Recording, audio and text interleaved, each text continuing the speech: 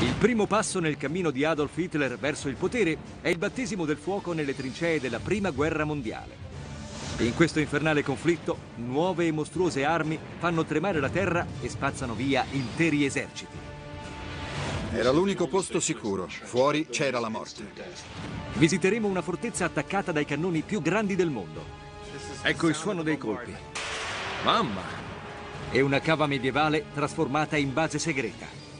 Adolf Hitler è in queste linee, ma non sa che sotto il suo naso si sta progettando un attacco a sorpresa. Il sottosuolo diventa un santuario e un'arma. Non mi meraviglia che il villaggio sia scomparso. Seguiteci in una nuova puntata di Le città segrete nelle trincee con Hitler.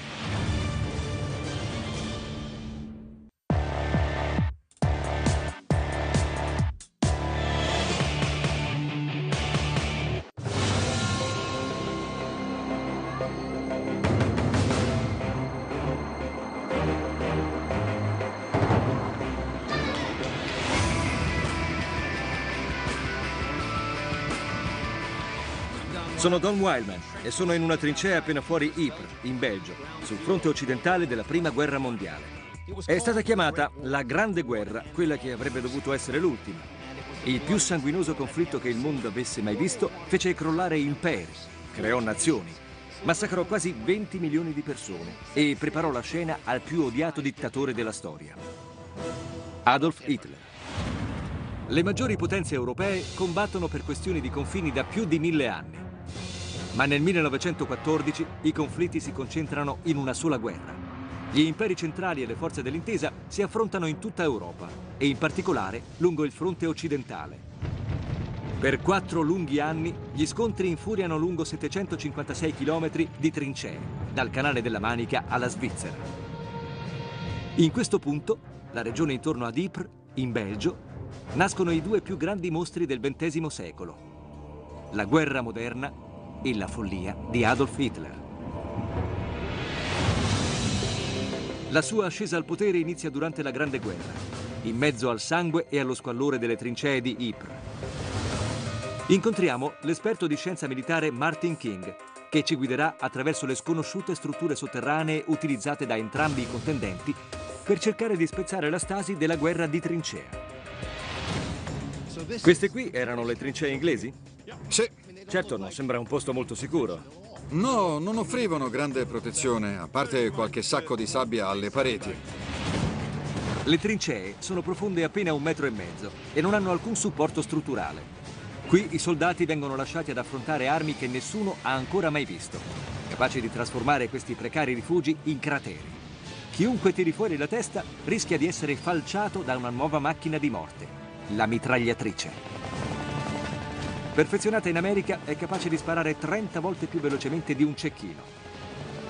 Infine ci sono le nubi di gas velenosi, che possono comparire in ogni momento. In questo scenario da incubo vi è un solo luogo sicuro, nel raggio di diversi chilometri.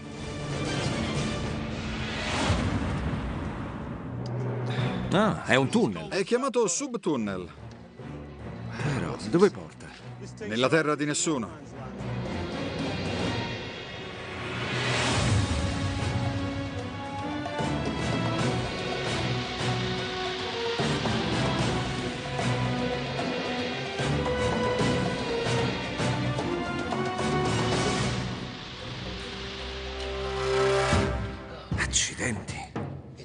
È lunghissimo. È tutto scavato sottoterra e si estende sotto tutto il campo di battaglia.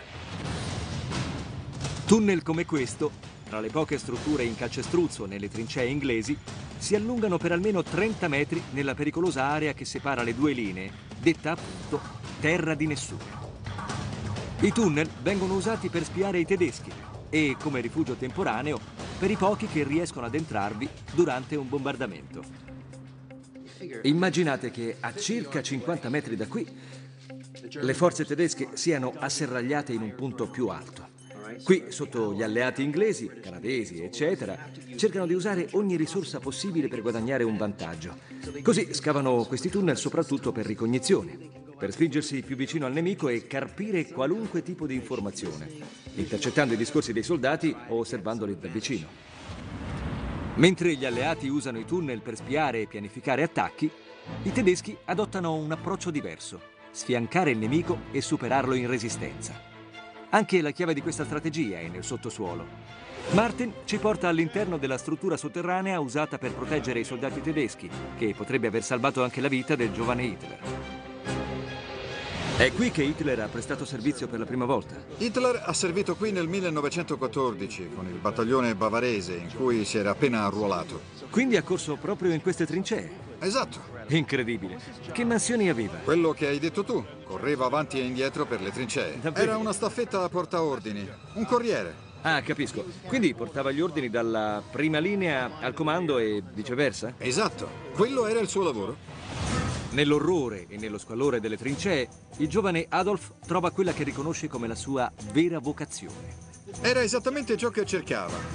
Aveva fallito praticamente in tutto ciò che aveva provato a fare. Possiamo dire che fosse un perdente. Certo. L'occasione giusta gli si presenta nell'agosto del 1914. Il piano Sliffen. Per lui è una svolta. Capisco. Si arruola nell'esercito. Si trova finalmente un'identità, Esatto, trova un'identità. proprio in queste trincee. Queste trincee. Questi uomini stavano seduti per anni, Sì, a qualche metro l'uno dall'altro, assolutamente. a bombardarsi a vicenda, Già, distruggendo ogni cosa intorno. esatto. L'intera zona era un cumulo di fango sollevato dalle bombe. Esattamente. Ci sono alcune celebri foto di soldati tedeschi in trincea, Ah, con dei ratti grandi così. Mio Dio, perché era pieno di cadaveri. Sì, il fetore doveva essere insopportabile. Sia per gli alleati che per i tedeschi, la vita quotidiana in trincea è fatta di dolore e miseria. Ma i tedeschi hanno un vantaggio cruciale. Bunker sotterranei, precursori di quelli che, durante la Seconda Guerra Mondiale, arriveranno a sostenere il colpo diretto di una bomba da una tonnellata. Questo è un bunker, un tipico bunker tedesco di prima linea in cemento armato. Guarda qui, Ah, certo. sbarre di ferro. Questo rifugio è sopravvissuto a più di un bombardamento. Sì, è veramente solido e resistente. Qui si era al sicuro.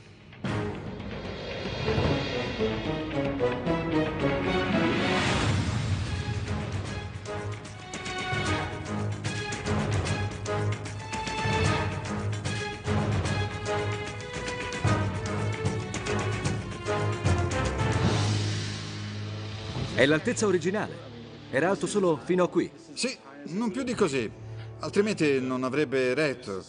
Qui i bombardamenti potevano continuare per giorni e giorni. Ah, quindi era un rifugio contro i bombardamenti. Esatto, costruito proprio con quello scopo. E, e quanti uomini sarebbero entrati qui dentro? Più o meno una cinquantina. Ah, 50 uomini in questo buco. In questo buco, sì. Pazzesco. Era l'unico posto sicuro. Fuori c'era la morte. Certo. Qui si era protetti, si aveva più di un metro di cemento armato sulla testa. In piccoli bunker come questo, Adolf Hitler trova il primo pubblico per le sue idee. Arrivava in un posto così, magari strisciando, e ci trovava decine di soldati. Gli raccontava cosa aveva sentito a Berlino. Partiva con la sua requisitoria come un predicatore. E su che cosa predicava esattamente? Politica, soprattutto politica. Il compagno di Hitler, il suo unico amico durante la guerra, è un cane che tiene alla larga i ratti. Da questo momento il futuro Führer avrà sempre un cane con sé, il suo amato pastore tedesco Blondie, che sarà al suo fianco quando 30 anni dopo si suiciderà nel bunker di Berlino. Secondo alcune stime, l'unità di Hitler perde più dei due terzi dei suoi effettivi nelle prime settimane di guerra, ma egli riesce miracolosamente a sopravvivere quattro anni sul fronte occidentale. Sentiva finalmente di avere uno scopo, una missione, un posto nella storia. Credeva fermamente nel destino, nel fato. Certo. I quattro anni passati in trincea, a cercare di proteggersi dalle più terribili armi che si fossero mai viste, spingono Hitler in un abisso di folle odio per il nemico, mentre due eserciti scavano nel sottosuolo, in cerca di un modo per porre fine al più sanguinoso scontro della storia.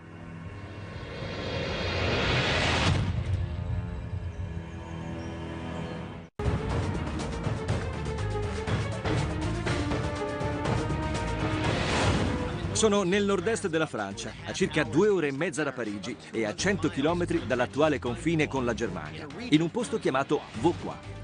95 anni fa, avremmo camminato per i vicoli di un villaggio di appena 174 anime. Ai nostri giorni Vauquois è chiamato il villaggio perduto, perché qui non c'è più nulla, a parte una complessa rete di gallerie sotterranee. Non si tratta di fogne né di catacombe, ma di quasi 20 km di tunnel costruiti col solo scopo di installare mine capaci di far saltare in aria il paese e di cancellarlo dalla faccia della terra. Vauquois è un villaggio a 200 km da Parigi quando viene occupato dai tedeschi nel settembre del 1914. Quattro anni dopo non esiste già più, completamente demolito dall'ultima innovazione militare, le mine. La battaglia sotterranea per Vauquois inizia quando i tedeschi scavano dei bunker sul fianco della collina per proteggersi dall'artiglieria francese.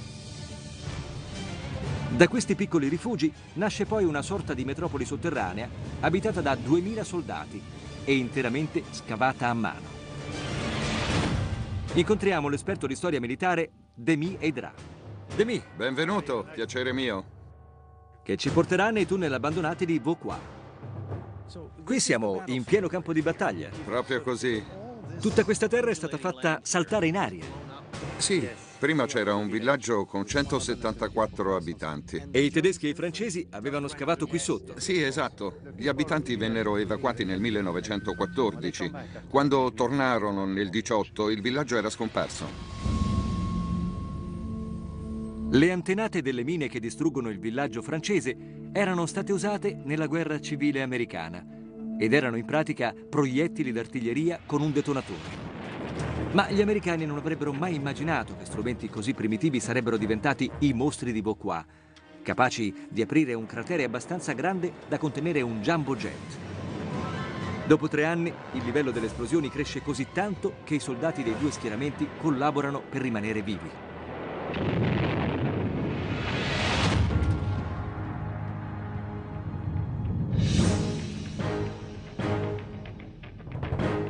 Questa è l'entrata. Sì, è pericoloso, quindi dobbiamo mettere i caschetti. Ok, dopo di te. Perfetto, si va.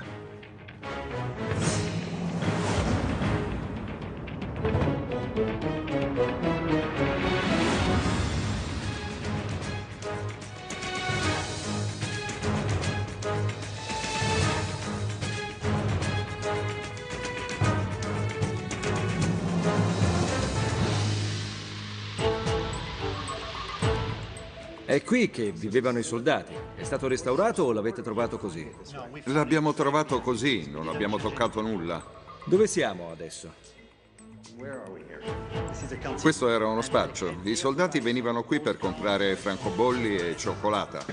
Ai, mm, è incredibile quanto, quanto si sia ben conservato. È vero. I dormitori sono al sicuro, protetti da 10 metri di terra. Ma per combattere, i tedeschi devono lasciare il rifugio e salire questi gradini. In pochi secondi erano in trincea, pronti a combattere i francesi. Quindi le scale arrivavano lì. Nella trincea della prima linea. Per non lasciare nulla di intentato, i tedeschi si affidano alle armi più moderne. Mine che possono essere preparate nella relativa sicurezza del sottosuolo. Quanto siamo scesi? Circa 50 metri. 50 metri, quindi più di 150 piedi. Esatto. Ok, livello 2. Si scende al livello 3. Fai quello che faccio io. D'accordo? Non è difficile. È vero, è solo molto ripido. Il primo e il secondo livello del complesso di Vauquois includono dormitori, cucine, infermerie e generatori. Nel terzo livello, che raggiunge una profondità di 50 metri, vi sono tunnel lunghi e stretti che si estendono oltre le linee dell'intesa, con lo scopo di far detonare mine di enormi dimensioni. Sull'altro lato della collina, i francesi iniziano a scavare a loro volta.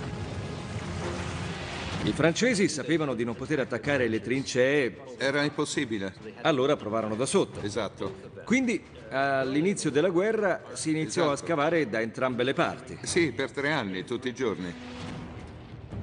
I contendenti scavano sempre più in profondità, decisi a cacciare il nemico dalla collina. Le mine diventano sempre più grandi, fino ad arrivare a pesare ben 60 tonnellate.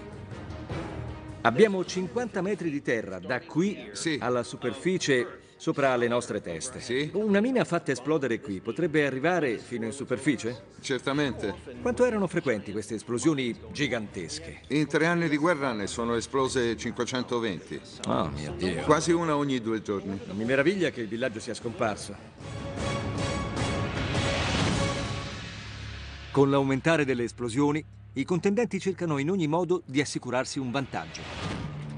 Usavano gli stetoscopi, come questo qui, e spiavano i tedeschi, i quali facevano lo stesso.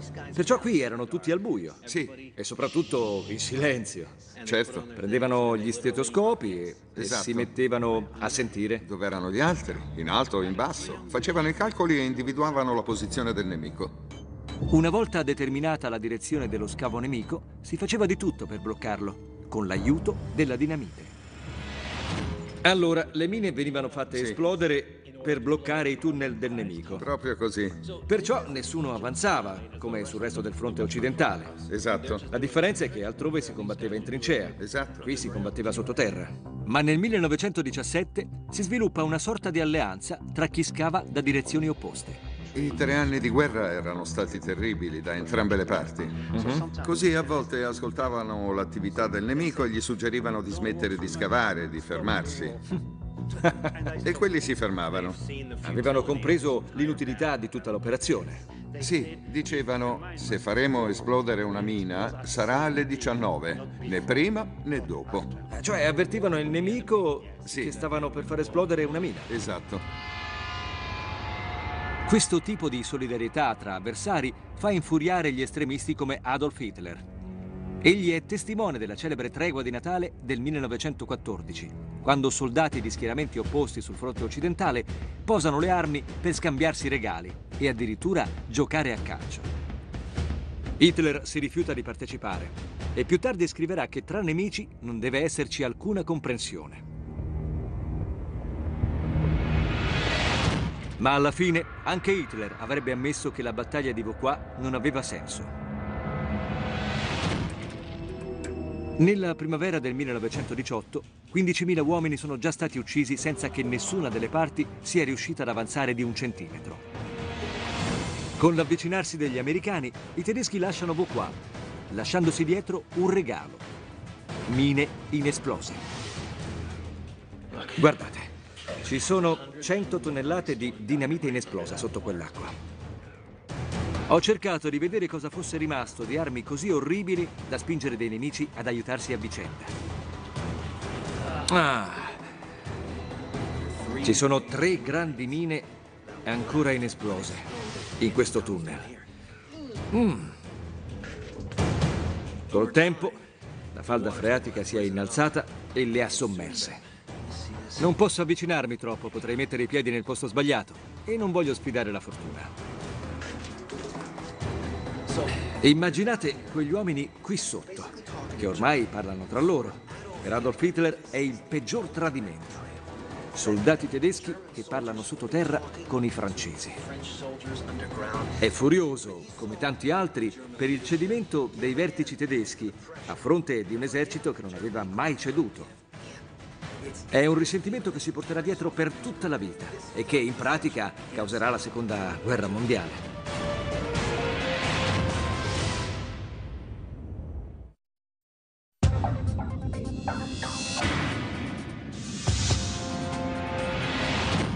La Grande Guerra è in gran parte un brutale ed estenuante susseguirsi di attacchi che non portano alcun risultato. Il sangue copre intere regioni e quando la Germania spinge il grosso della sua potenza militare verso il nord-est della Francia, inizia una delle più terribili carneficine della guerra e dell'intera storia dell'umanità, la battaglia di Verdun. Fort Douaumont è l'obiettivo principale. È considerata la più potente piazzaforte d'Europa, l'orgoglio dell'esercito francese, ed è quasi interamente sotterranea. 240 km a est di Parigi. Verdun è una città di importanza vitale per il fronte occidentale. Per i tedeschi rappresenta l'ultimo ostacolo sulla strada per la capitale francese. Per i francesi è l'ultimo baluardo. Quasi 400.000 persone moriranno qui. Hitler verrà ferito in un'altra battaglia sul fiume Somme. Soprattutto rimarrà segnato da quello che considera il tradimento dei leader tedeschi e non si fermerà davanti a nulla pur di portare il mondo intero sotto un nuovo ordine. Gli scontri più feroci che fomenteranno questo risentimento si concentrano sul centro delle fortificazioni francesi, Fort Douaumont, e vedranno l'utilizzo delle armi più terribili del tempo. Stiamo per incontrare Julien Coquet, che ci porterà nelle viscere del forte, dove centinaia, a volte migliaia di uomini cercarono rifugio dalla violenza dei bombardamenti. Entriamo qui? Sì, proprio qui. È un'entrata inquietante, vero? Prego.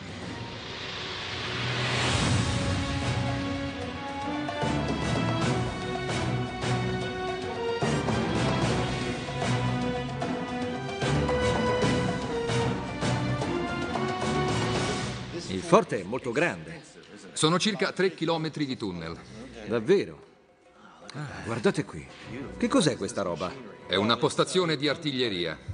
Accidenti. Questo cannone da 155 mm, insieme ad altri due pezzi da 75 e tre mitragliatrici, protegge il forte. Con i suoi 3 km di ambienti sotterranei, Fort Douaumont è considerato imprendibile, anche per la tecnica costruttiva.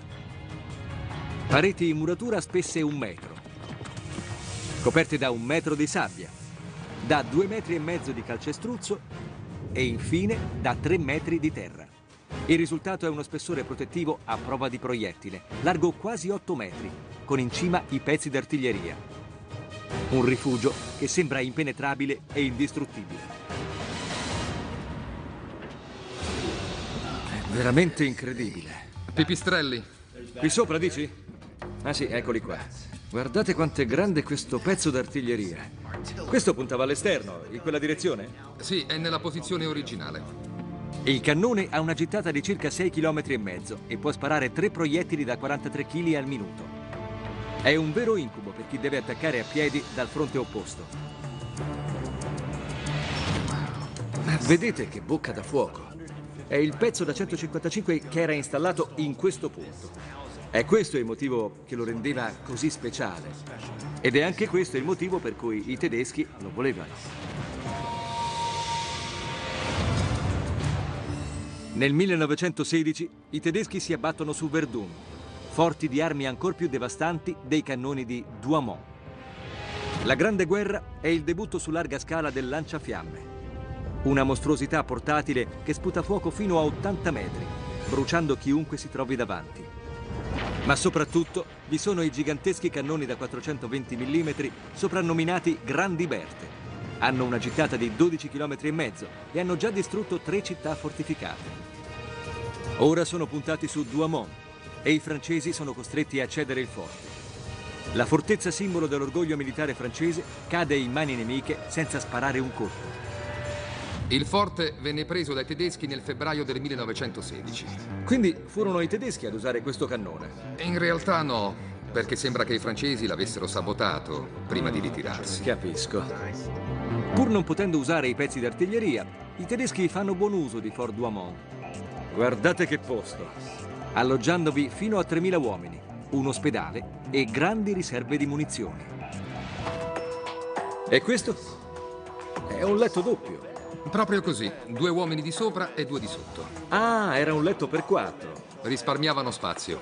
Qui dentro ci si poteva sentire al sicuro. Lo soprannominarono forte Zio Douaumont. Zio Douaumont. Esatto. Sapevano che avrebbero potuto essere là fuori in trincea. Invece qui era come stare in casa. Buon per loro. Determinati a riprendersi il forte e a riscattare l'onore nazionale, i francesi attaccano con l'artiglieria pesante e con sanguinose offensive da terra. Quante persone sono morte? In tutta la battaglia più di 300.000 tra francesi e tedeschi.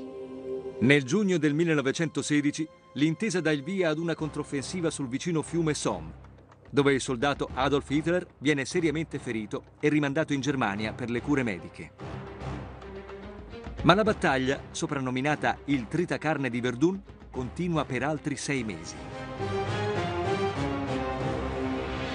Quante bombe cadevano qui ogni giorno? Circa 2000 proiettili al giorno. 2000 proiettili. Praticamente era un'azione costante. In alcuni giorni ne arrivarono anche 10.000 qui sul forte. Come si è vissuto qui durante quei 300 giorni? Ogni volta che il forte veniva colpito, tremavano i muri. Certo. E parti di intonaco potevano cadere sui soldati. E il bombardamento era costante. I francesi non smisero mai, un proiettile ogni 30 secondi. Oh mio Dio. Nei primi dieci mesi di battaglia vengono sparati 40 milioni di colpi d'artiglieria. Questo è il suono di un colpo? Di un colpo di medie dimensioni. Ah, ok. Mamma mia. Beh, è fortissimo, eh. E continua. Immagina di sentirlo 2000 o 10.000 volte al giorno. Alcuni soldati persero il senno qui dentro. Davvero? Sì, molti si suicidarono. Non riuscivano a sopportare il rumore e l'orrore che li circondava. Disturbo post-traumatico da stress? Studiato per la prima volta proprio durante la Grande Guerra. È una malattia che nessuno ha mai visto e che nessuno capisce. I sintomi vanno dall'insonnia e l'ansietà al totale esaurimento nervoso e ai tic più impressionanti. Molti ridicolizzano le vittime del disturbo, accusandoli di debolezza e codardia. Gli uomini faticano a mantenere il controllo, ma anche il forte inizia a dare segni di cedimento. Siamo a 14 metri di profondità nel primo livello interrato e guardate sopra la mia testa. Tutte queste stalattiti si sono formate per le infiltrazioni di migliaia di piccole crepe create dalle migliaia di proiettili caduti sul forte durante la battaglia di Verdun. Dopo mesi di martellamento, gli occupanti tedeschi ricevono un colpo devastante. Un fornelletto per cucinare viene acceso troppo vicino ai proiettili inutilizzati della torretta. L'immane esplosione che ne deriva uccide centinaia di uomini. Voglio mostrarti una cosa. Qui, in questo pozzo di ventilazione, sembra che ci sia un elmetto tedesco. Un elmetto tedesco? Ah, eccolo. Ma com'è arrivato lì? Pare che con l'esplosione la testa del soldato tedesco sia saltata in aria insieme a tutto l'elmetto. Quindi qui dentro c'era il cranio e tutto il resto? Crediamo di sì. Diavolo, è pazzesco. Finalmente, dopo mesi di carneficina, i francesi scatenano sul forte una nuova arma. Un cannone da 400 mm capace di sparare proiettili da una tonnellata a 1500 km l'ora. Ritornarono al forte grazie a questa bocca di fuoco, questo mortaio da 400 mm. Era il calibro più grande dell'esercito francese. E i tedeschi realizzarono che non avrebbero potuto difendere il forte contro un'arma del genere. Esatto, bastava che un colpo raggiungesse il deposito delle munizioni. Uh-huh. Così preferirono evacuare. Capisco. Fu una vittoria importante per i francesi, una rinascita. Per l'esercito francese, ma anche per la popolazione. Immagino che li abbia accompagnati fino alla fine della guerra. Esatto, fino alla fine. E tutto è iniziato a Fort Douaumont. Proprio così. Ho capito.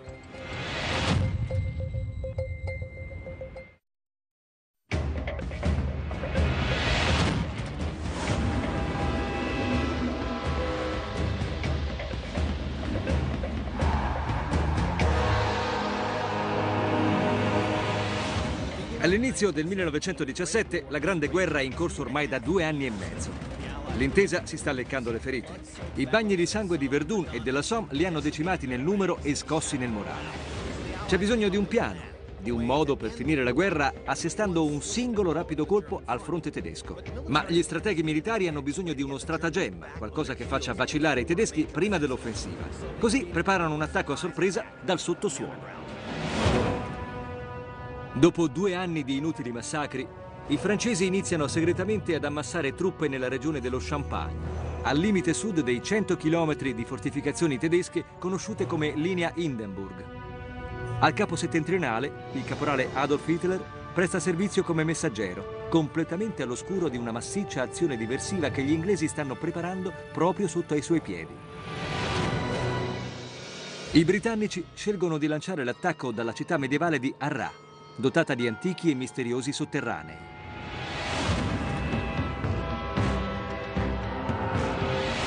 Stiamo per visitare il più grande sistema sotterraneo mai creato dall'esercito inglese. È questo sistema che permise all'intesa di catturare più territorio nemico in un giorno di quanto ne aveva guadagnato in anni. A quanto pare l'intera città è percorsa da antiche gallerie che gli inglesi usarono per scopi militari. Ora incontreremo un archeologo locale che ci porterà a visitarle. Alain! Ciao, benvenuto. Alain Jacques e i suoi colleghi erano alla ricerca di una miniera medievale quando hanno scoperto un sistema di gallerie che ha giocato un ruolo fondamentale in tempi più moderni. Quindi questa è una delle piazze principali di Arra? Sì, esatto. E c'è un sistema segreto di tunnel che passa sotto a tutta la zona. Favoloso. Lo vediamo? Da questa parte? Di qua. Ok. Venite con me. Eccoci, ti seguiamo. Abbiamo appena lasciato la strada e siamo entrati in un ristorante. E qui sotto Nella cantina? c'è un tesoro. Ma che succede qui? Siamo scesi di un piano e ora scendiamo ancora, guardate.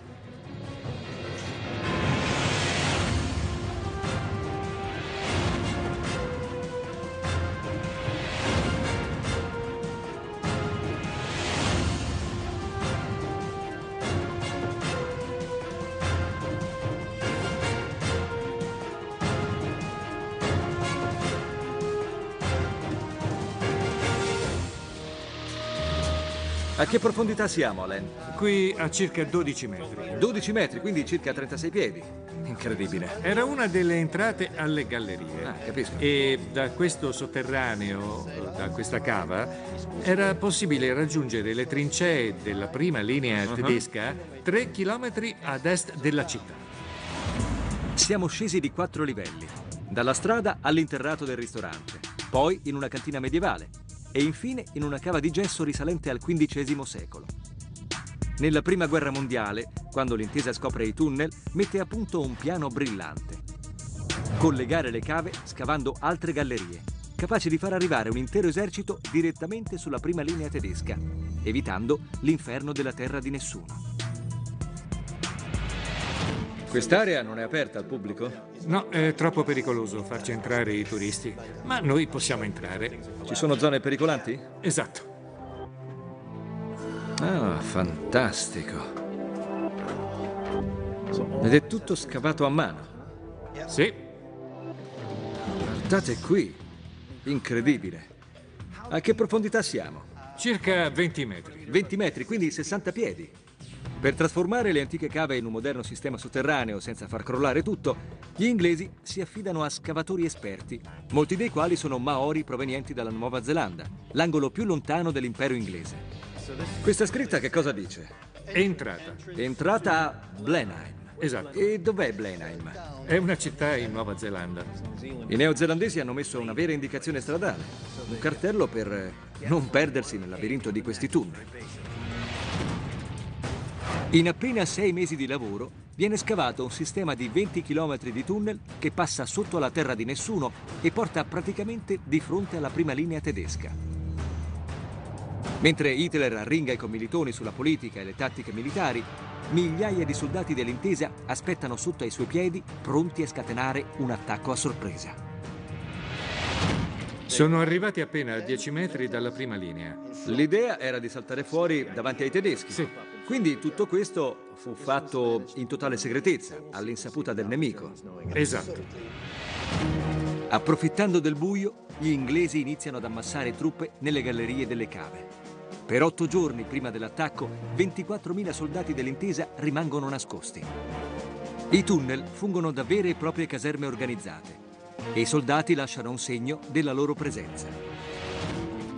Ehi, guardate qui. Una croce. È vero, eccola. Hanno praticamente scolpito le croci sul muro. Esatto. Un volto di donna. E Charlie Chaplin disegnato sul muro. Sì. Avevano tutto, le caserme, le strutture mediche, un sistema idrico centralizzato. Vedete questi tubi? Nel 1917, ad aprile, qui avrei potuto fare la doccia. Così, dopo tutti i preparativi, mesi e mesi di scavo, di raccolta e di sistemazione delle truppe, arriva il giorno dell'attacco. 24.000 uomini devono lasciare il sottosuolo in diverse ondate. Sì. Come fanno? Da qui. Passano da qui. Da questa scalinata? Già. È una vera scala per l'inferno. Oh mio Dio! Ma è lunghissima! Già. Incredibile! Guardate, provate a immaginare. Qui ci sono decine di scalini e su ognuno di essi ci sarebbe stato un soldato inglese in attesa di andare in battaglia. Tutti allineati qui, con i grandi sacchi sulle spalle, con le armi, gli elmetti, le munizioni e naturalmente le speranze e le preghiere. Non sapevano cosa li aspettasse in cima. Non sapevano se i tedeschi li stessero aspettando. La cosa incredibile è che lo stesso Adolf Hitler si trova proprio qui vicino.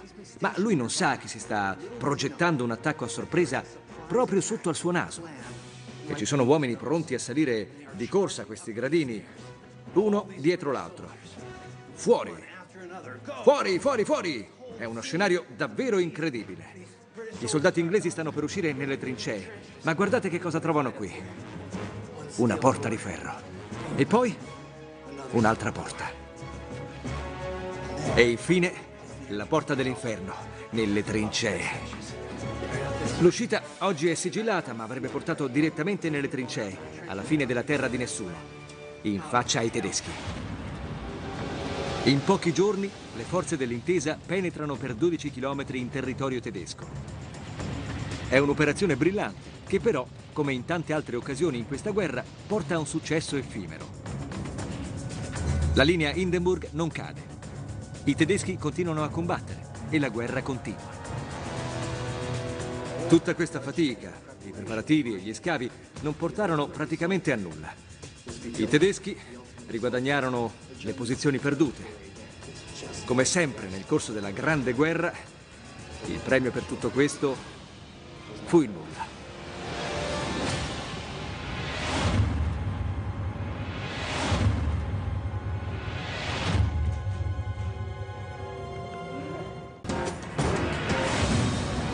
In aggiunta agli 8 milioni e mezzo di soldati che muoiono sui campi di battaglia della Grande Guerra, più di 20 milioni rimangono feriti. Quelli che riescono a sopravvivere all'inferno ne escono cambiati per sempre. Nel 29enne Adolf Hitler, le esperienze in battaglia lasciano soprattutto una rabbia cieca nei confronti del nemico.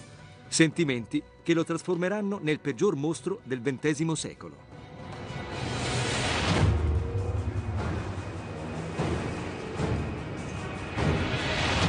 Sono diretto alla cripta di una chiesa medievale che fu trasformata in infermeria tedesca all'inizio della guerra, quando il massacro iniziò ad assumere dimensioni che nessuno aveva immaginato. E con l'aumento delle vittime, i feriti vengono ricuciti alla meglio e rispediti al fronte.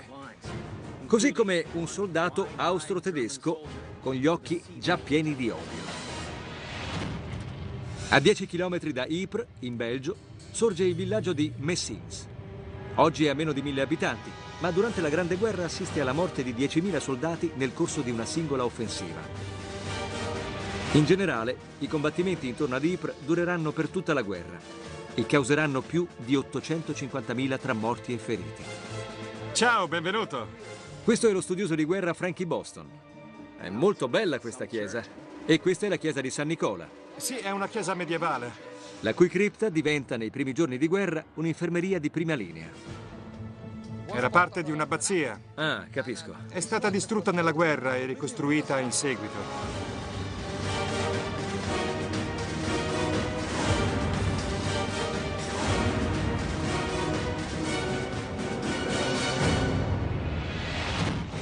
Hitler è stato qui. Sì, esatto. Nei primi giorni di guerra, nel 14 e nel 15. Uh-huh. E c'è qualcosa che ce lo ricorda, non nella chiesa, ma nei sotterranei. Ah.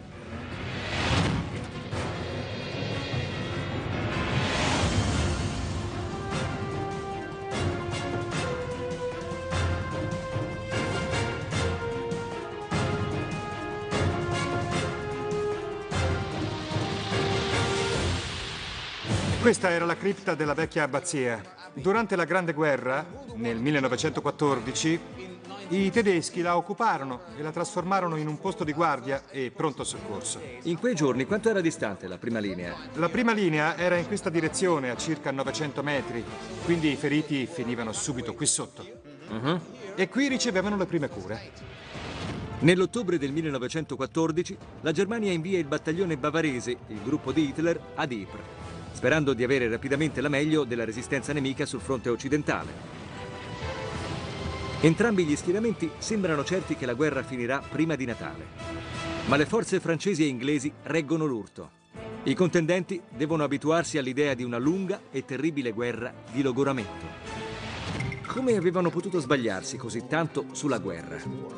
Entrambe le parti pensavano di poter vincere facilmente e forse avevano ancora in mente le guerre napoleoniche, che spesso si concludevano nel giro di qualche settimana. Pensavano ancora in termini ottocenteschi. Certo.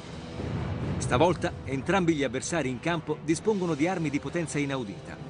Mitragliatrici che staccano arti di netto, gas tossici capaci di bruciare la pelle e lanciafiamme. Con l'aumentare delle vittime, le truppe di entrambi gli schieramenti usano ogni struttura sotterranea che riescono a trovare per esempio cantine e cripte, trasformandole in stazioni di pronto soccorso. La cripta è sopravvissuta quasi fino alla fine della guerra. La chiesa è stata distrutta, ma la cripta ha retto. Sì, la cripta ha retto, coperta dalle pietre crollate in superficie, che di fatto aumentarono lo spessore del soffitto. In pratica diventò un bunker. Sì, proprio così. Nel 1915, quando Hitler viene ferito durante gli scontri a Messins, la cripta infermeria è l'unico posto sicuro nel raggio di chilometri. Nel novembre del 1915 viene ferito ad un braccio. Non è una ferita grave, ma deve essere curata. Ma... E si pensa che fu curato proprio in questa stanza. Fu curato in questa stanza? Si pensa che sia andata proprio così. Si ferì per un atto di eroismo, giusto?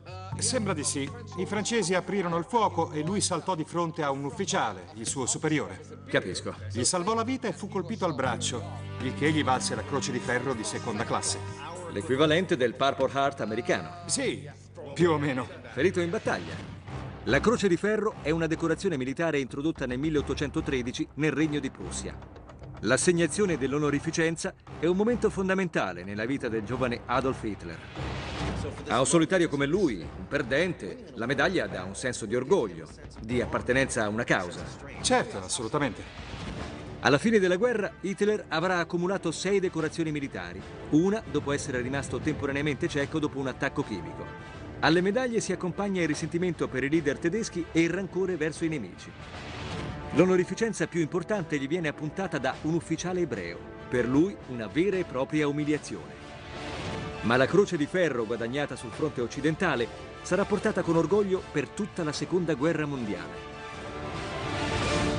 Proprio qui, in questo spazio così angusto, il giovane Adolf Hitler viene ricoverato nel 1915 e curato per la ferita che gli vale la Croce di Ferro di seconda classe. È un momento fondamentale della sua vita.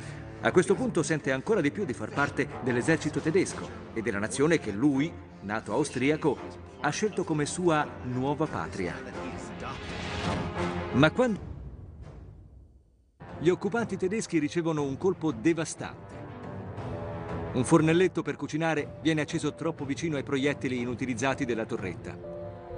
L'immane esplosione che ne deriva uccide centinaia di uomini. Voglio mostrarti una cosa. Qui, in questo pozzo di ventilazione, sembra che ci sia un elmetto tedesco. Un elmetto tedesco? Ah, eccolo. Ma com'è arrivato lì? Pare che con l'esplosione la testa del soldato tedesco sia saltata in aria insieme a tutto l'elmetto. Quindi qui dentro c'era il cranio e tutto il resto? Crediamo di sì. Diavolo, è pazzesco. Finalmente, dopo mesi di carneficina, i francesi scatenano sul forte una nuova arma. Un cannone da 400 mm capace di sparare proiettili da una tonnellata a 1500 km l'ora. Ritornarono al forte grazie a questa bocca di fuoco, questo mortaio da 400 mm. Era il calibro più grande dell'esercito francese. E i tedeschi realizzarono che non avrebbero potuto difendere il forte contro un'arma del genere. Esatto, bastava che un colpo raggiungesse il deposito delle munizioni. Uh-huh. Così preferirono evacuare. Capisco. Fu una vittoria importante per i francesi, una rinascita. Per l'esercito francese, ma anche per la popolazione. Immagino che li abbia accompagnati fino alla fine della guerra. Esatto, fino alla fine. E tutto è iniziato a Fort Douaumont. Proprio così. Ho capito.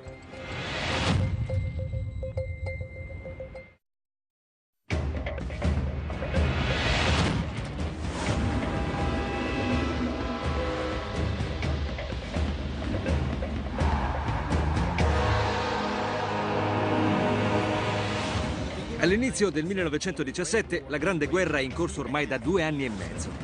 L'intesa si sta leccando le ferite. I bagni di sangue di Verdun e della Somme li hanno decimati nel numero e scossi nel morale. C'è bisogno di un piano, di un modo per finire la guerra assestando un singolo rapido colpo al fronte tedesco. Ma gli strateghi militari hanno bisogno di uno stratagemma, qualcosa che faccia vacillare i tedeschi prima dell'offensiva. Così preparano un attacco a sorpresa dal sottosuolo. Dopo due anni di inutili massacri, i francesi iniziano segretamente ad ammassare truppe nella regione dello Champagne, al limite sud dei 100 km di fortificazioni tedesche conosciute come linea Hindenburg. Al capo settentrionale, il caporale Adolf Hitler presta servizio come messaggero, completamente all'oscuro di una massiccia azione diversiva che gli inglesi stanno preparando proprio sotto ai suoi piedi. I britannici scelgono di lanciare l'attacco dalla città medievale di Arras, dotata di antichi e misteriosi sotterranei.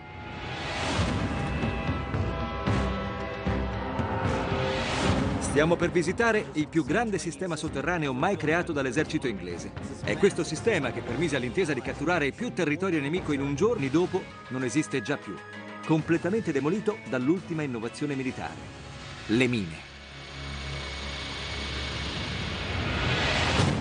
La battaglia sotterranea per Vauquois inizia quando i tedeschi scavano dei bunker sul fianco della collina per proteggersi dall'artiglieria francese. Da questi piccoli rifugi nasce poi una sorta di metropoli sotterranea abitata da 2000 soldati e interamente scavata a mano. Incontriamo l'esperto di storia militare Demi Eidra. Demi, Benvenuto, piacere mio. che ci porterà nei tunnel abbandonati di Vauquois. Qui siamo in pieno campo di battaglia. Proprio così. Tutta questa terra è stata fatta saltare in aria Sì, prima c'era un villaggio con 174 abitanti. e i tedeschi e i francesi avevano scavato qui sotto. Sì, esatto. Gli abitanti vennero evacuati nel 1914. Quando tornarono nel 18 il villaggio era scomparso. Le antenate delle mine che distruggono il villaggio francese erano state usate nella guerra civile americana ed erano in pratica proiettili d'artiglieria con un detonatore.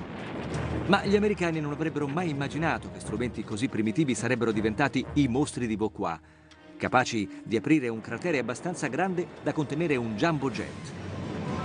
Dopo tre anni, il livello delle esplosioni cresce così tanto che i soldati dei due schieramenti collaborano per rimanere vivi.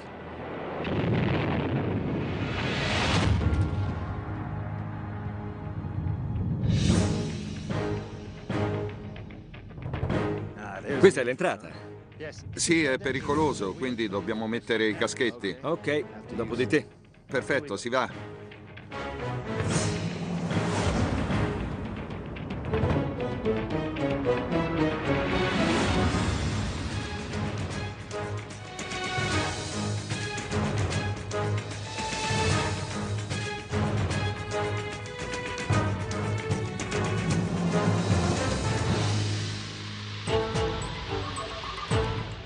È qui che vivevano i soldati. È stato restaurato o l'avete trovato così? L'abbiamo trovato così, non abbiamo toccato nulla. Dove siamo adesso? Questo era uno spaccio. I soldati venivano qui per comprare francobolli e cioccolata. Ai, mm, è incredibile quanto, quanto si sia ben conservato. È vero. I dormitori sono al sicuro, protetti da 10 metri di terra. Ma per combattere, i tedeschi devono lasciare il rifugio e salire questi gradini. In pochi secondi erano in trincea, pronti a combattere i francesi. Quindi le scale arrivavano lì. Nella trincea della prima linea. Per non lasciare nulla di intentato, i tedeschi, si- la cui cripta diventa nei primi giorni di guerra un'infermeria di prima linea. Era parte di un'abbazia. Ah, capisco. È stata distrutta nella guerra e ricostruita in seguito.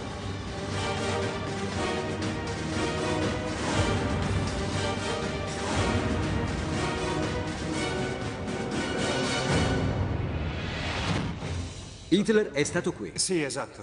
Nei primi giorni di guerra, nel 14 e nel 15. E c'è qualcosa che ce lo ricorda, non nella chiesa, ma nei sotterranei. Ah.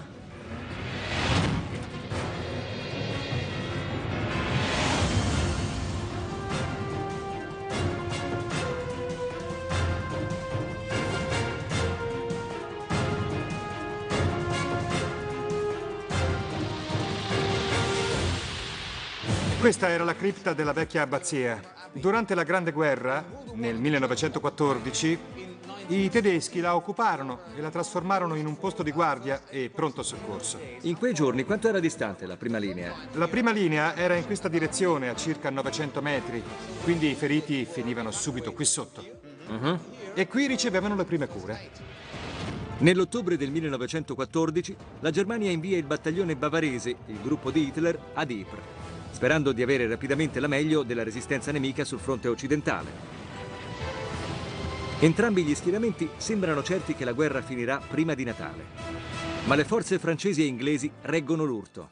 I contendenti devono abituarsi all'idea di una lunga e terribile guerra di logoramento. Come avevano potuto sbagliarsi così tanto sulla guerra?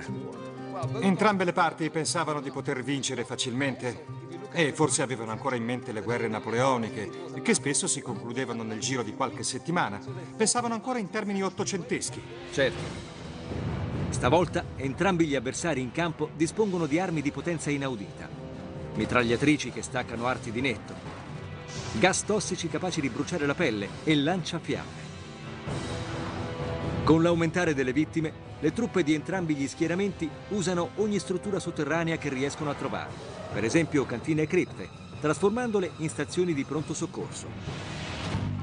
La cripta è sopravvissuta quasi fino alla fine della guerra. La chiesa è stata distrutta, ma la cripta ha retto. Sì, la cripta ha retto, coperta dalle pietre crollate in superficie, che di fatto aumentarono lo spessore del soffitto. In pratica diventò un bunker. Sì, proprio così. Nel 1915, quando Hitler viene ferito durante gli scontri a Messins, la cripta infermeria è l'unico posto sicuro nel raggio di chilometri. Nel novembre del 1915 viene ferito ad un braccio non è una ferita grave, ma deve essere curata. Ma... E si pensa che fu curato proprio in questa stanza. Fu curato in questa stanza? Si pensa che sia andata proprio così. Nel 1917 si sviluppa una sorta di alleanza tra chi scava da direzioni opposte. I tre anni di guerra erano stati terribili da entrambe le parti. Uh-huh. Così a volte ascoltavano l'attività del nemico e gli suggerivano di smettere di scavare, di fermarsi. e quelli si fermavano. Avevano compreso l'inutilità di tutta l'operazione. Sì, dicevano, se faremo esplodere una mina sarà alle 19, né prima né dopo. Cioè avvertivano il nemico sì. che stavano per far esplodere una mina. Esatto. Questo tipo di solidarietà tra avversari fa infuriare gli estremisti come Adolf Hitler. Egli è testimone della celebre tregua di Natale del 1914, quando soldati di schieramenti opposti sul fronte occidentale posano le armi per scambiarsi regali e addirittura giocare a calcio. Hitler si rifiuta di partecipare e più tardi scriverà che tra nemici non deve esserci alcuna comprensione. Ma alla fine anche Hitler avrebbe ammesso che la battaglia di Vauquois non aveva senso. Nella primavera del 1918, 15.000 uomini sono già stati uccisi senza che nessuna delle parti sia riuscita ad avanzare di un centimetro. Con l'avvicinarsi degli americani, i tedeschi lasciano Vauquois, lasciandosi dietro un regalo. Mine inesplose. Guardate, ci sono 100 tonnellate di dinamite inesplosa sotto quell'acqua. Ho cercato di vedere cosa fosse rimasto di armi così orribili da spingere dei nemici ad aiutarsi a vicenda. Ah. Ci sono tre grandi mine ancora inesplose in questo tunnel. Mm. Col tempo la falda freatica si è innalzata e le ha sommerse. Non posso avvicinarmi troppo, potrei mettere i piedi nel posto sbagliato e non voglio sfidare la fortuna. Immaginate quegli uomini qui sotto, che ormai parlano tra loro. Per Adolf Hitler è il peggior tradimento. Soldati tedeschi che parlano sottoterra con i francesi. È furioso, come tanti altri, per il cedimento dei vertici tedeschi a fronte di un esercito che non aveva mai ceduto. È un risentimento che si porterà dietro per tutta la vita e che in pratica causerà la seconda guerra mondiale.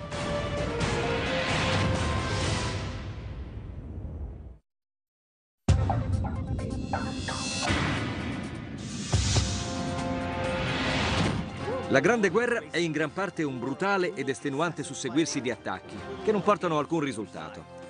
Il sangue copre intere regioni. E quando la Germania spinge il grosso della sua potenza militare verso il... Questa è l'entrata. Sì, è pericoloso, quindi dobbiamo mettere i caschetti. Ok, dopo di te. Perfetto, si va.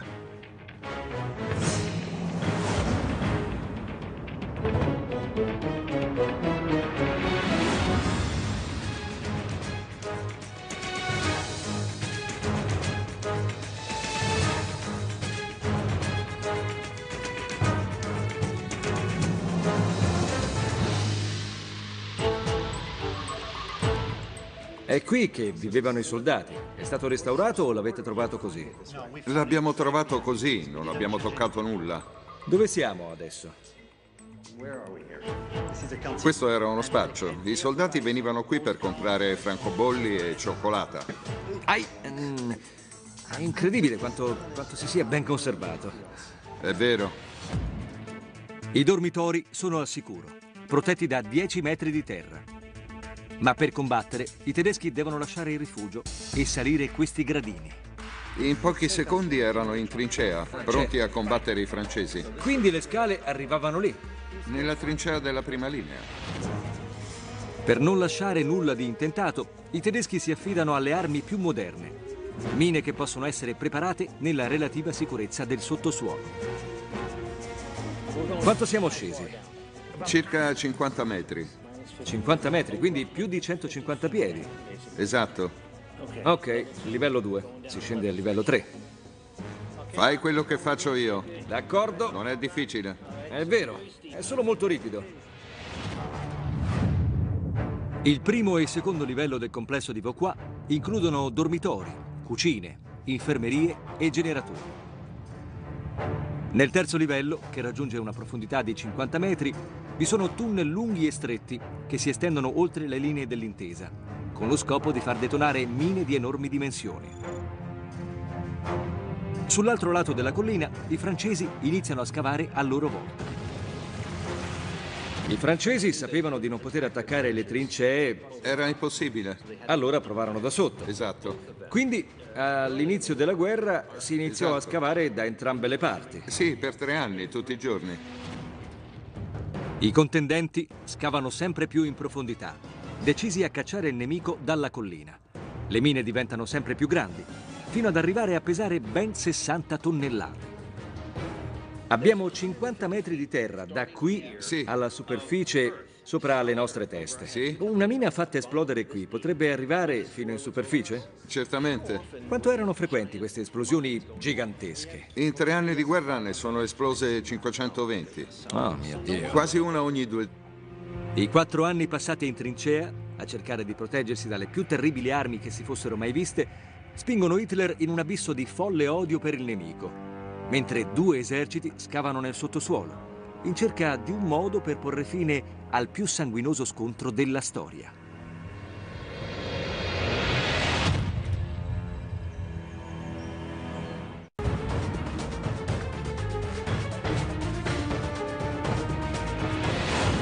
Sono nel nord-est della Francia, a circa due ore e mezza da Parigi e a 100 km dall'attuale confine con la Germania, in un posto chiamato Vauquois. 95 anni fa avremmo camminato per i vicoli di un villaggio di appena 174 anime. Ai nostri giorni Vauquois è chiamato il villaggio perduto, perché qui non c'è più nulla, a parte una complessa rete di gallerie sotterranee. Non si tratta di fogne né di catacombe, ma di quasi 20 km di tunnel costruiti col solo scopo di installare mine capaci di far saltare in aria il paese e di cancellarlo dalla faccia della terra. Vauquois è un villaggio a 200 km da Parigi quando viene occupato dai tedeschi nel settembre del 1914.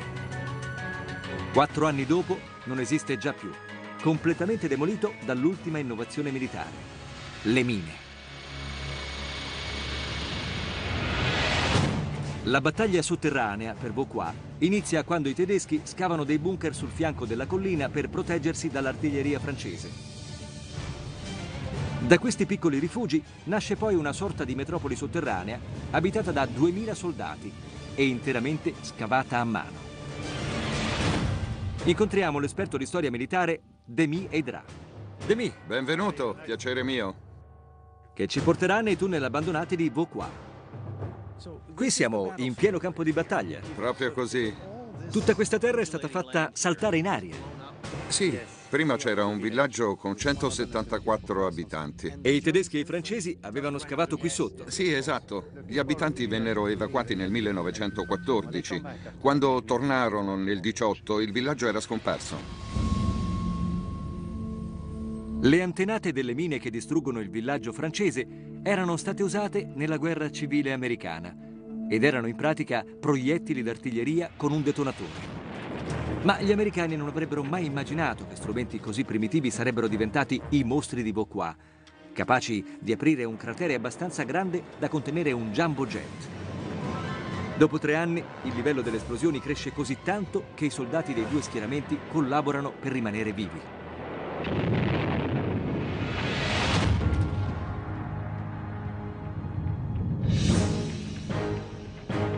Raggiungere le trincee della prima linea uh-huh. tedesca 3 km ad est della città. Siamo scesi di quattro livelli, dalla strada all'interrato del ristorante, poi in una cantina medievale e infine in una cava di gesso risalente al XV secolo. Nella Prima Guerra Mondiale, quando l'intesa scopre i tunnel, mette a punto un piano brillante. Collegare le cave scavando altre gallerie capace di far arrivare un intero esercito direttamente sulla prima linea tedesca, evitando l'inferno della terra di nessuno. Quest'area non è aperta al pubblico? No, è troppo pericoloso farci entrare i turisti, ma noi possiamo entrare. Ci sono zone pericolanti? Esatto. Ah, fantastico. Ed è tutto scavato a mano? Sì. Guardate qui. Incredibile. A che profondità siamo? Circa 20 metri. 20 metri, quindi 60 piedi. Per trasformare le antiche cave in un moderno sistema sotterraneo senza far crollare tutto, gli inglesi si affidano a scavatori esperti, molti dei quali sono maori provenienti dalla Nuova Zelanda, l'angolo più lontano dell'impero inglese. Questa scritta che cosa dice? Entrata. Entrata a Blenheim. Esatto. E dov'è Blenheim? È una città in Nuova Zelanda. I neozelandesi hanno messo una vera indicazione stradale, un cartello per non perdersi nel labirinto di questi tunnel. In appena sei mesi di lavoro viene scavato un sistema di 20 km di tunnel che passa sotto la terra di nessuno e porta praticamente di fronte alla prima linea tedesca. Mentre Hitler arringa i commilitoni sulla politica e le tattiche militari, migliaia di soldati dell'intesa aspettano sotto ai suoi piedi, pronti a scatenare un attacco a sorpresa.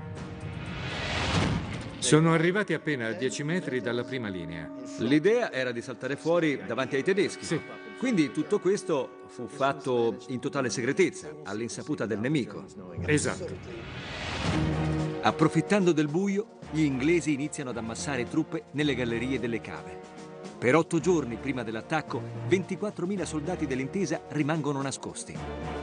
I tunnel fungono da vere e proprie caserme organizzate e i soldati lasciano un segno della loro presenza. Ehi, guardate qui. Una croce. È vero, eccola. Hanno praticamente scolpito le croci sul muro. Esatto. Un volto di donna. E Charlie Chaplin disegnato sul muro. Sì.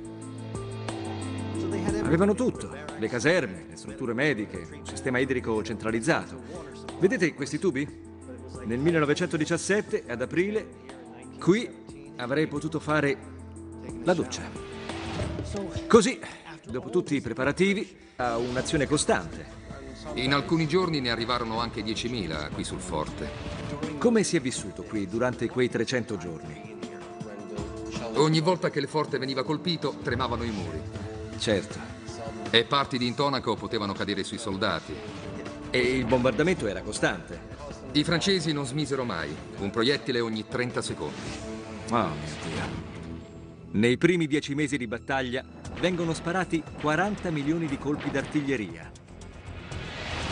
Questo è il suono di un colpo? Di un colpo di medie dimensioni. Ah, ok. Mamma mia. Beh, è fortissimo, eh e continua. immagina di sentirlo 2000 o 10.000 volte al giorno. Alcuni soldati persero il senno qui dentro. Davvero? Sì, molti si suicidarono. Non riuscivano a sopportare il rumore e l'orrore che li circondava. Disturbo post-traumatico da stress? Studiato per la prima volta proprio durante la Grande Guerra. È una malattia che nessuno ha mai visto e che nessuno capisce. I sintomi vanno dall'insonnia e l'ansietà al totale esaurimento nervoso e ai tic più impressionanti. Molti ridicolizzano le vittime del disturbo, accusandoli di debolezza e codardia.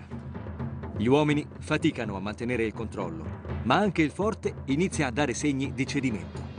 Siamo a 14 metri di profondità nel primo livello interrato e guardate sopra la mia testa.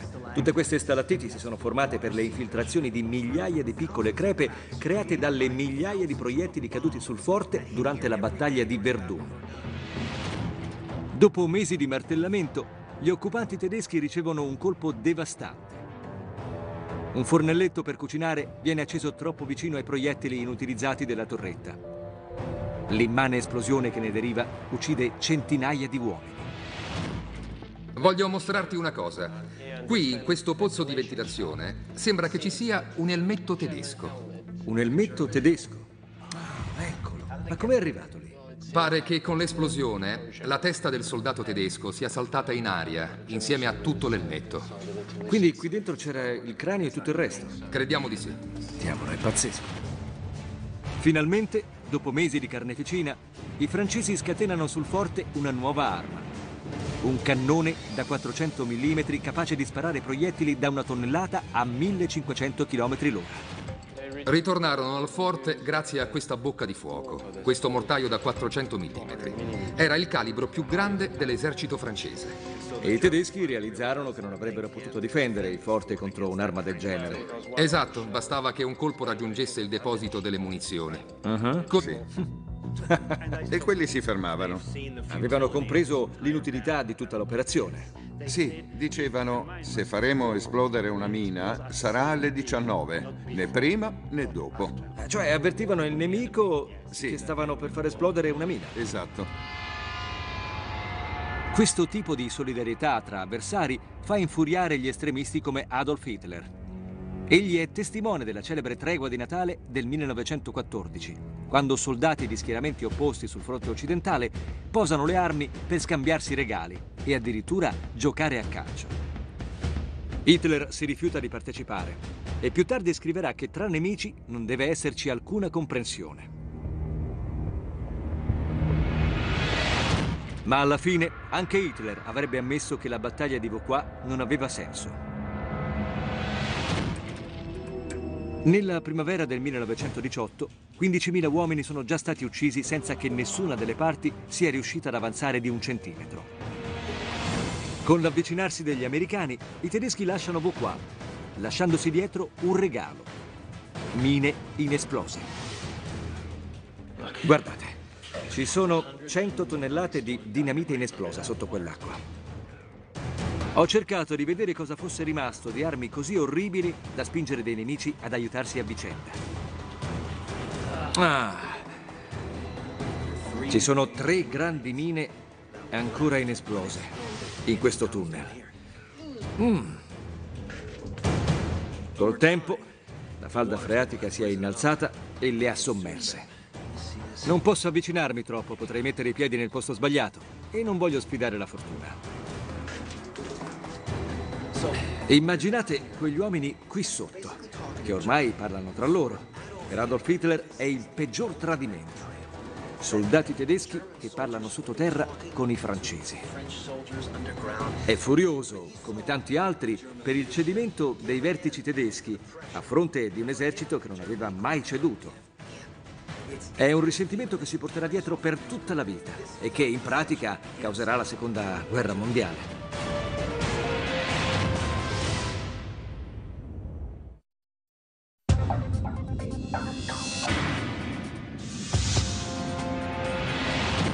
La Grande Guerra è in gran parte un brutale ed estenuante susseguirsi di attacchi che non portano alcun risultato. Il sangue copre intere regioni e quando la Germania spinge il grosso della sua potenza militare verso il nord-est della Francia, inizia una delle più terribili carneficine della guerra e dell'intera storia dell'umanità, la battaglia di Verdun. Fort Douaumont è l'obiettivo principale. È considerata la più potente piazza stretti a cedere il forte. La fortezza simbolo dell'orgoglio militare francese cade in mani nemiche senza sparare un colpo. Il forte venne preso dai tedeschi nel febbraio del 1916. Quindi furono i tedeschi ad usare questo cannone. In realtà no, perché sembra che i francesi l'avessero sabotato prima di ritirarsi. Capisco. Pur non potendo usare i pezzi d'artiglieria, i tedeschi fanno buon uso di Fort Douaumont. Guardate che posto! Alloggiandovi fino a 3.000 uomini, un ospedale e grandi riserve di munizioni. E questo? È un letto doppio. Proprio così, due uomini di sopra e due di sotto. Ah, era un letto per quattro. Risparmiavano spazio. Qui dentro ci si poteva sentire al sicuro. Lo soprannominarono forte Zio Douaumont. Zio Douaumont. Esatto. Sapevano che avrebbero potuto essere là fuori in trincea. Invece qui era come stare in casa. Buon per loro. Determinati a riprendersi il forte e a riscattare l'onore nazionale, i francesi attaccano con l'artiglieria pesante e con sanguinose offensive da terra. Quante persone sono morte? In tutta la battaglia più di 300.000 tra francesi e tedeschi. Nel giugno del 1916 l'intesa dà il via ad una controffensiva sul vicino fiume Somme, dove il soldato Adolf Hitler viene seriamente ferito e rimandato in Germania per le cure mediche. Ma la battaglia, soprannominata il Tritacarne di Verdun, continua per altri sei mesi. Quante bombe cadevano qui ogni giorno? Circa 2000 proiettili al giorno. 2000 proiettili. Praticamente era un'azione costante. In alcuni giorni ne arrivarono anche 10.000 qui sul forte. Come si è vissuto qui durante quei 300 giorni? Ogni volta che il forte veniva colpito, tremavano i muri. Certo. E parti di intonaco potevano cadere sui soldati. E il bombardamento era costante. I francesi non smisero mai, un proiettile ogni 30 secondi. Oh mio Dio. Nei primi dieci mesi di battaglia vengono sparati 40 milioni di colpi d'artiglieria. Questo è il suono di un colpo? Di un colpo di medie dimensioni. Ah, ok. Mamma mia. Beh, è fortissimo, eh e continua. Immagina di sentirlo 2000 o 10.000 volte al giorno. Alcuni soldati persero il senno qui dentro. Davvero? Sì, molti si suicidarono. Non riuscivano a sopportare il rumore e l'orrore che li circondava. Disturbo post-traumatico da stress? Studiato per la prima volta proprio durante la Grande Guerra. È una malattia che nessuno